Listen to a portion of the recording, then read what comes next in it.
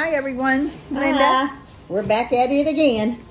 So we're um, just patting out the shortbread, getting ready to score it. This is one of my uh, big sellers. I've made this for probably 35, 40 years. Um, it's a, just a little square cookie, needs no frosting.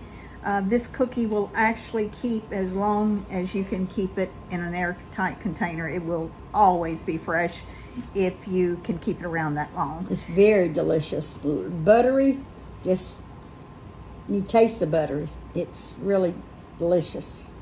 So, and also this ships really Can well. yeah, this is one of her best ship. There Um, we go. We're getting these orders ready. We've got several orders to go out tomorrow that's going to be shipping. So you'll see I've scored it and I just make a couple little inventions. Sometimes I use a heart. Sometimes I use a star around, just a round shape, just to give it a little extra on it. So we'll be getting this in the oven. Um, This is Linda's specialty here. if um, if you want to send someone something and you you don't know what to send them, this is an excellent thing to send. It's something They ship that very good. they they do not break. We package our stuff very well. Um, it's um, unless requested, I send my shipments UPS, and uh, usually it gets there within two to three days, depending on where it's going. So if you want something to be delivered at a certain time, you need to keep that in mind when you're ordering it.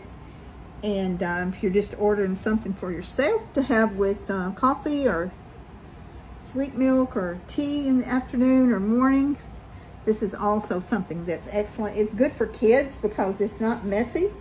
It's just a plain cookie, but um, it's um, it melts in your mouth. I mean, it's literally that literally that good.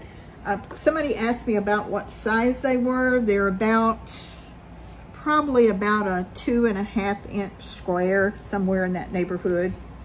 Um, you know, that might not be precise, but that's pretty close. And um, let me know if you want to order some. We're going to be getting these in the oven. Um, And how those- long do you cook them? um, cook them for about 22 minutes and then uh, we'll be back on and show you how we take them out after they've cooled and then also a little bit of packaging a little bit later on in another video. Thank you for watching.